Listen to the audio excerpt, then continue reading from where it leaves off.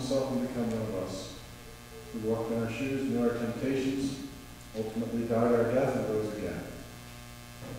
He is among us as Lord and Savior, and we celebrate his birth as we join together in worship and praise. It is always good also to celebrate Christmas with family, and we are family here, beautiful Savior. We're so glad that you made the trek already this morning to, to be a part of your family. Thank you for those of you who were also here last night. Uh, it's between the last night's two services and today, we, we always see uh, so many people, so we're very thankful for God's blessing as people come together to share in the good news of Jesus.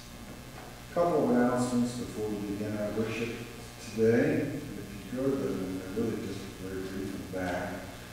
If you go there, you'll see, uh, as I, and most of you I think know, I'm going to be uh, going away on the 27th, and I'll be gone for a while. I have some special guest preachers coming to share the, the gospel.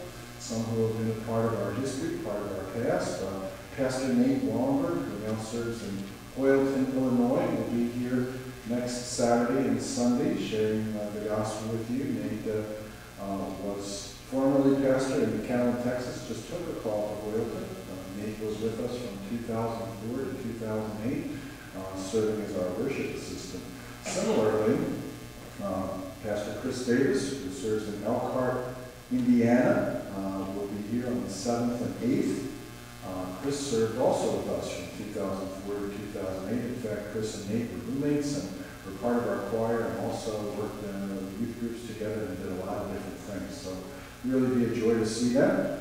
Uh, Richard Schneider, son of the congregation. Uh, Richard is married to uh, Gary and Joanne's daughter, Kristen, and uh, we see him occasionally when he comes to visit family, and it's always a great pleasure to have him back with us. I I'm not as well aware of the dates that he was with us, but maybe you guys can help me. What was it, from about 1999 to about 2000? What year did you to the seminary? 2004? Three. 2007, graduated the seminary. Okay. So, look forward to him. And of course, it's always our pleasure uh, to have in our midst Pastor Dr. William Otto, who uh, um, next month we'll be celebrating his 50th anniversary at Beautiful Savior, 50 years uh, serving here at Beautiful Savior, so that'll be a pleasure too. And in fact, uh, the week after that, I'll be back with you, and the week after that, we're actually going to we're going to celebrate that day, so uh, 50 years of Pastor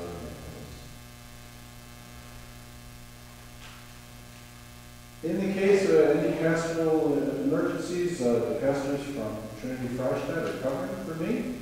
Um, their numbers are in the newsletter and, of course, available from the office. Uh, um, we'll have information on the answering machine as well, so if anything comes up. Also, when I say a word of thanks, uh, doesn't the altar look beautiful? You the whole decorations, uh, uh, what a beautiful uh, arrangement. we certainly want to thank uh, Artie for her work in that, and others who were assisting her. Uh, Advent wreath uh, is always a, a, joy to us. The flowers out in the entry, and music, and all of those things that make the, the uh, Christmas season so beautiful and so special. We want to thank all of you who have been a big part of that and serving the Lord by beautifying our sanctuary beautifying our church with music.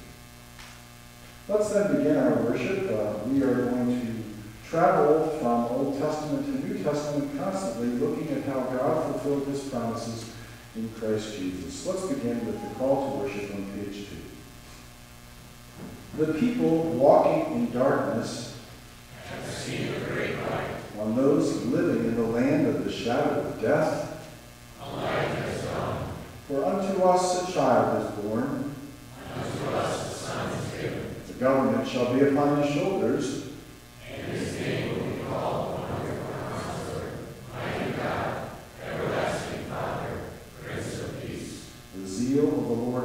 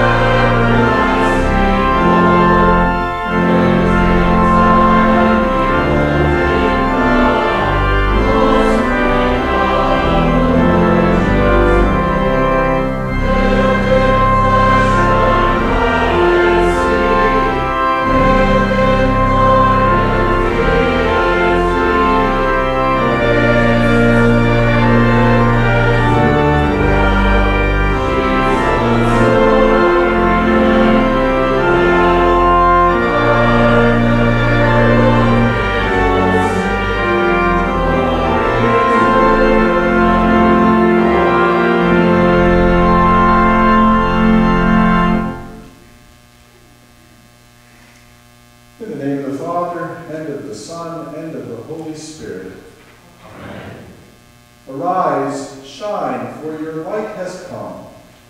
And the glory of the Lord has risen upon you. For behold, darkness shall cover the earth, and thick darkness the peoples. The Lord will arise upon you, and his glory will be seen upon you. Nations shall come to your light. And kings to the brightness of your rising.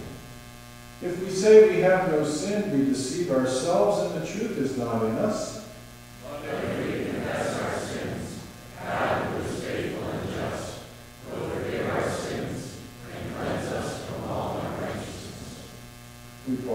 Consider our personal need for God's grace.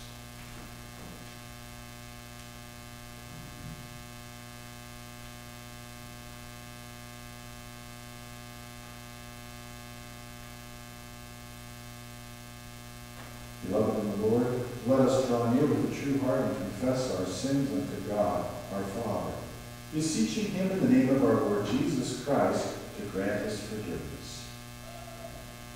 Our help in the name of the Lord. I said, I will confess my transgressions unto the Lord. Let us then confess our sins to God our Father. Most merciful God, we confess that we are by nature sinful and unclean. We have sinned against you in thought, word, and deed, by what we have done and by what we have. We have not loved you with our whole heart. We have not loved our neighbors as ourselves. We justly deserve your present and eternal punishment. For the sake of your Son, Jesus Christ, have mercy on us, forgive us, renew us, and lead us, so that we may delight in your will and walk in your ways, to the glory of your holy name. Amen. Mercy of Almighty God, Jesus Christ was given to die for us, and for his sake, God forgives us all our sins. To those who believe in Jesus Christ, he gives the power to become the children of God and bestows on them the Holy Spirit. May the Lord, who has begun this good work in us, bring it to completion in the day of our Lord Jesus Christ. Amen. Please be seated as we join together in singing hymn 378.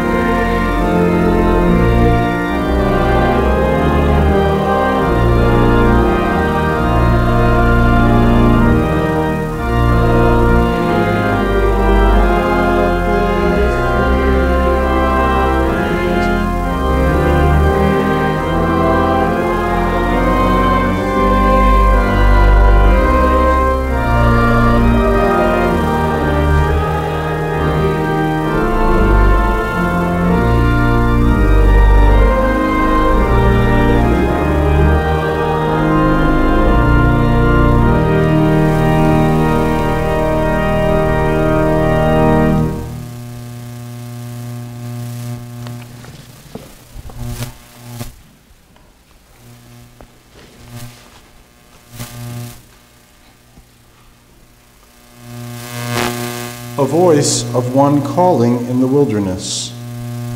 Prepare the way for the Lord, make straight in the wilderness a highway for our God.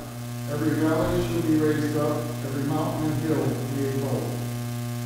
The crooked road shall become straight, the rough way smooth, and all mankind will see God's salvation. Arise, shine, for your light has come. Sing verses 1 and 6 of 357.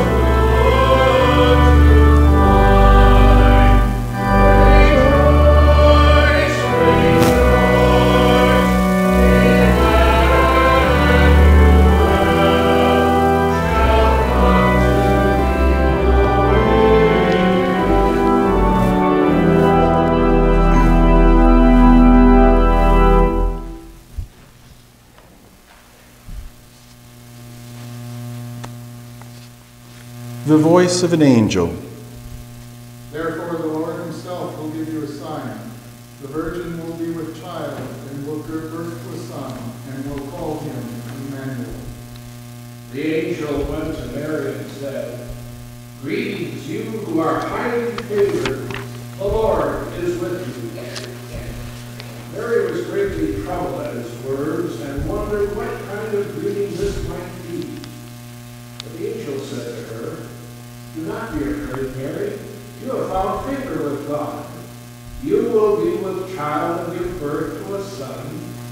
You are to give him the name Jesus. He will be great and will be called the Son of the Most High. The Lord God will give him the throne of his father David, and he will reign over the house of Jacob forever. His kingdom will never end. How will this be, Mary asked the angel, since I am a virgin? The angel answered, The Holy Spirit will come up upon you, and the power of the Most High will overshadow you. So the Holy One to be born will be called the Son of God. Even Elizabeth, your relative, is going to have a child in her old age, and she who is said to be barren is in her sixth month, for nothing is impossible with God.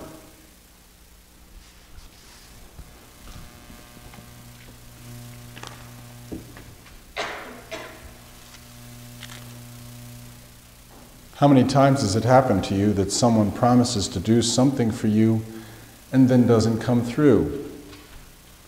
For some, nearly so often, they don't trust anyone to do anything anymore. They say to themselves, if you want a job done right, if you want to count on it, you better do it yourself. God made a promise to Israel. The Savior would come to rescue them, a Messiah, a king. And for thousands of years, the Israelites waited, but it didn't seem like it was going to happen. Pagan kingdoms arose and persecuted them. Their temple was destroyed. They were taken into captivity. Years were passing, and so on. Was God's word null and void? Had he forgotten his promise? No, indeed not. But God, knowing the best and most proper time for this Messiah to come, waited for his own time, his own place, his own way to send Jesus. And you know the rest. That Messiah did come. He did fulfill his mission. mission. Our sins are forgiven by his blood. We can stand before God without guilt and blame because Jesus came and fulfilled God's promise. How often do you feel like Israel? What promises are you waiting to be fulfilled from God? Does it sometimes seem like He's not taking care of you? Does it seem sometimes like He's indifferent to your problems? Does it seem like He doesn't hear your prayers? Take heart. Remember what we celebrate today. He is faithful. He will take care of us. Jesus Christ came. He lives, He reigns, and He is our guarantee. Arise, shine, for your light has come. We sing 377, verses 1 to 3.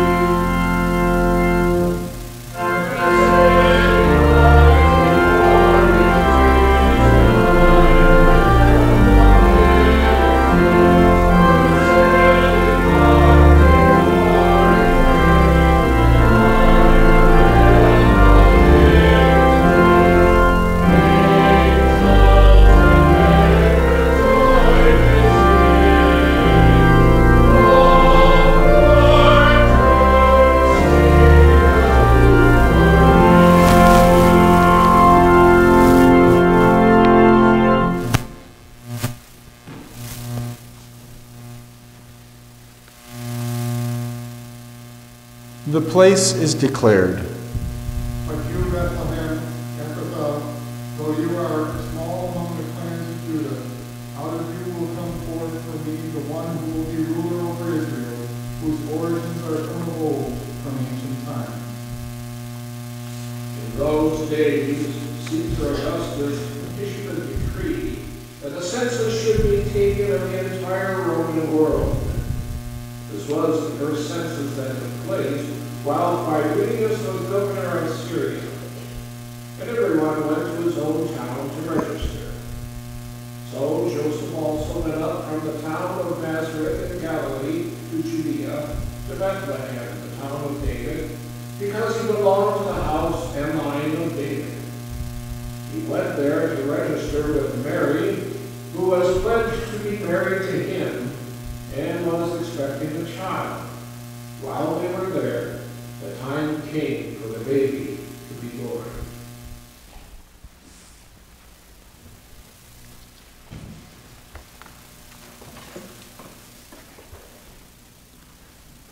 History.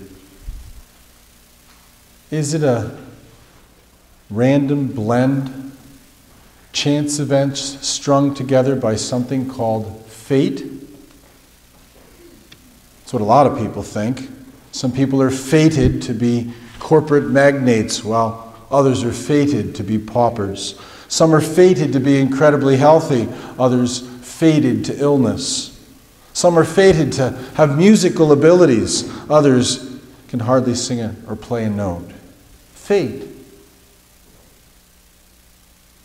God's Word shows us something different. It shows us a God who is actively involved in history. He made it, He molded it, He shapes it to work out the best thing for His people and to fulfill His promises to them. God said Bethlehem. Indeed, it would be Bethlehem. Didn't matter that Joseph was living in Galilee. It didn't matter that it isn't customary to travel when one is pregnant. God made a promise, and so He took history and made it suit His purposes for the benefit of his people. God molds history for you and me also. It is not chance that brought you here today. It is not fate that gave you your specific gifts and talents. You aren't just lucky to have your house or to get good grades. God gifted you with those things, just like He gifted the world with the birth of the babe of the manger, the Messiah the Savior.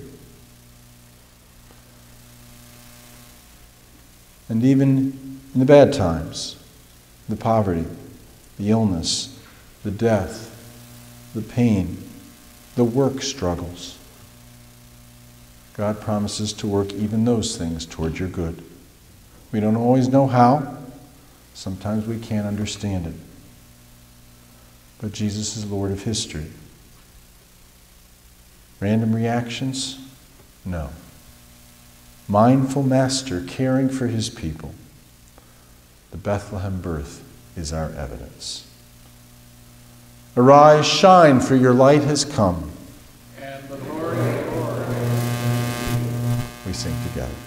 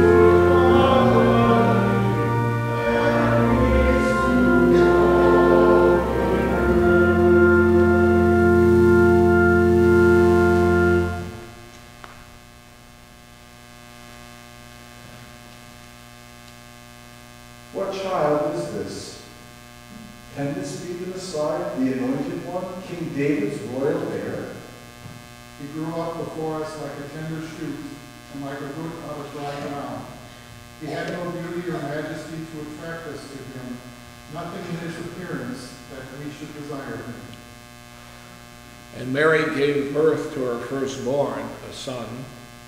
She wrapped him in swaddling cloths and placed him in a manger, because there was no room for them in the inn.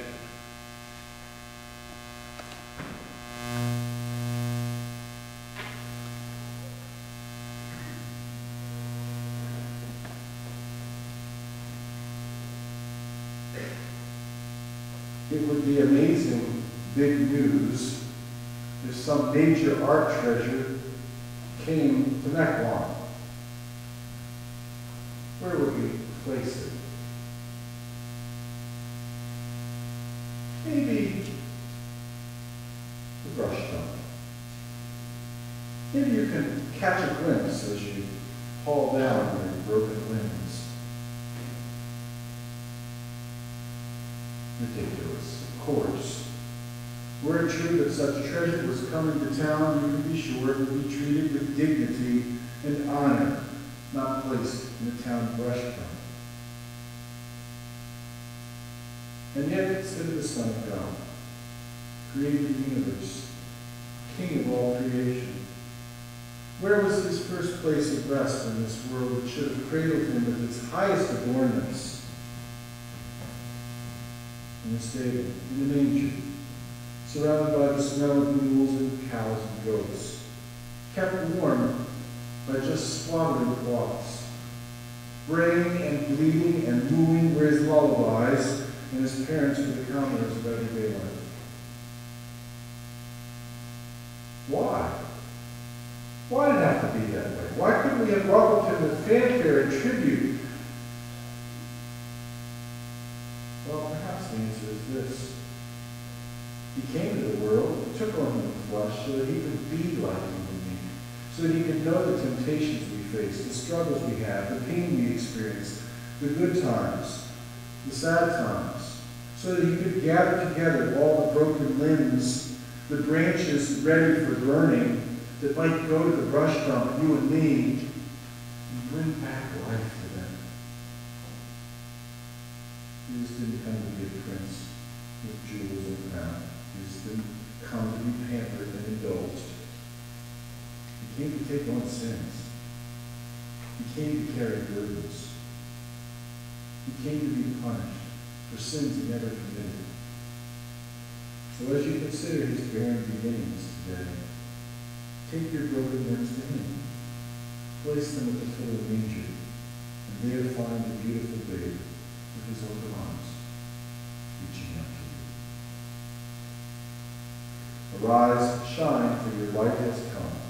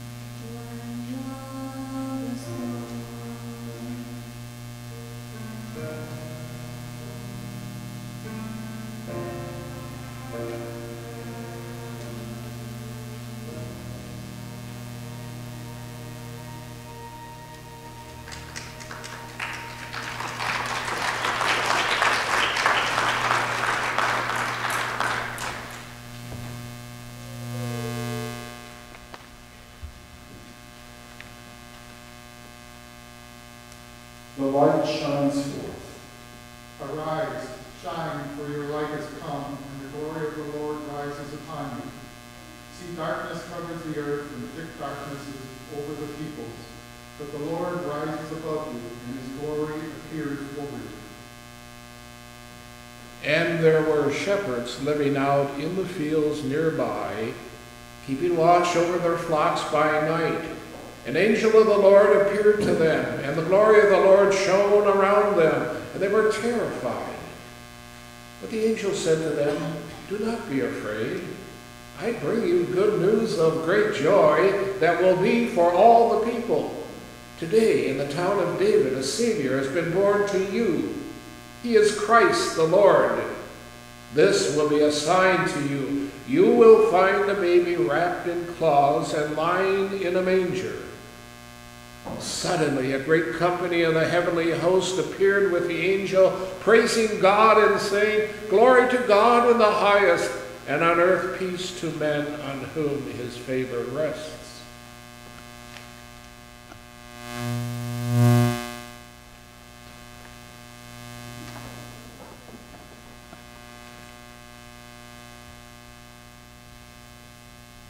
An eclipse.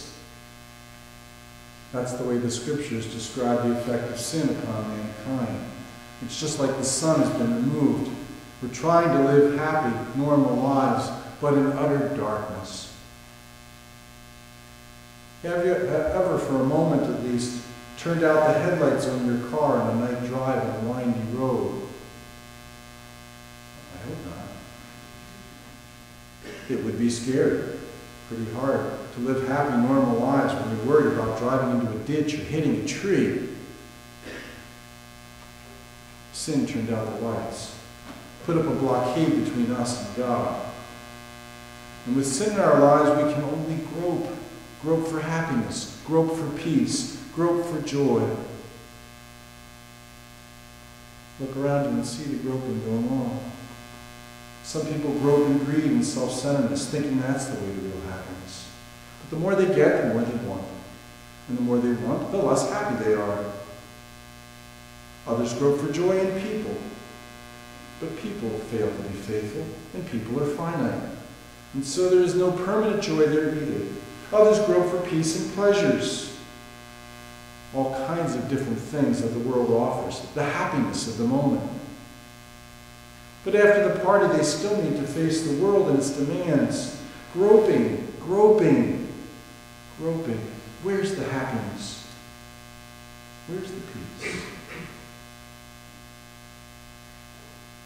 The angels come to us with an answer, just as they did for the shepherds. Grope no longer. The Savior of the world, the light, the glory of God has come. And as we look to Him, as He points us in the right direction, the peace and joy and happiness follow along. God, the Creator of the universe, cares personally for you. He will provide for you. He will give you His gifts. He is always there and He will never leave. May God bless you with peace. Arise, shine, for your light has come. And the glory of the Lord We sing together.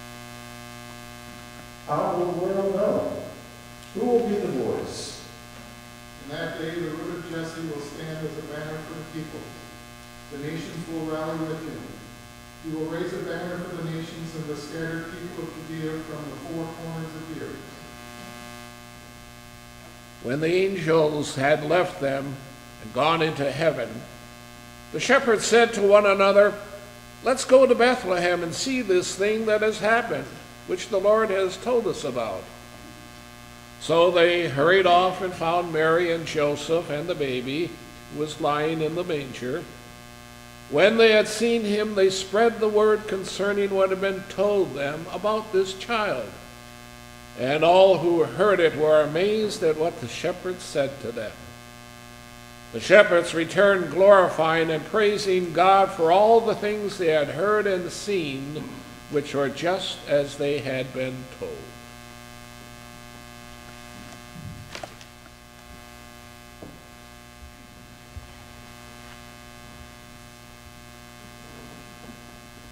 Consider those shepherds just going about their daily business when this glorious thing happens. Angels sing, a message is told. They're excited. But after a short time, the angels leave them and go back into heaven where they're left in the fields alone. What's their response? Two things. One, the song of the angels wants them only want more. They want to see for themselves the Messiah. They want to know more about him. They want to touch him and praise him. And number two, after they've found Jesus, they want others to know of him. The Messiah has come. The King of Kings is here. They could hardly keep silent. It's too fantastic an event for them to be indifferent.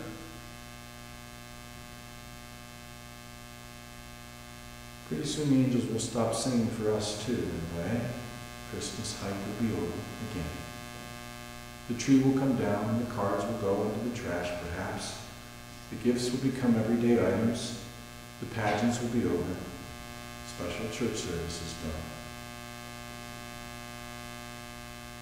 But as it did for the shepherds, the message remains. Our Messiah is there to help us, to comfort us, to strengthen us.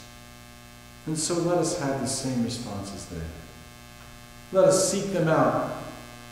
Seek Him out as they did. That is, let us turn to His Word for guidance. Let us relish His presence. Let us come to His house to worship. And then number two will come naturally. We, like the shepherds, will realize that His coming makes a difference for us. And we will share that message to all who will hear. Arise, shine, for your light has come.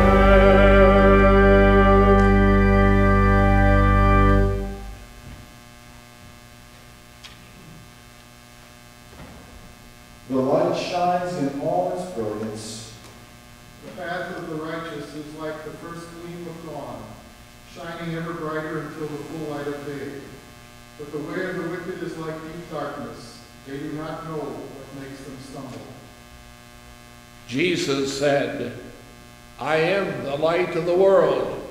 Whoever follows me will never walk in darkness, but will have the light of life. Arise, shine, for your light has come. And the glory of the Lord has been revealed.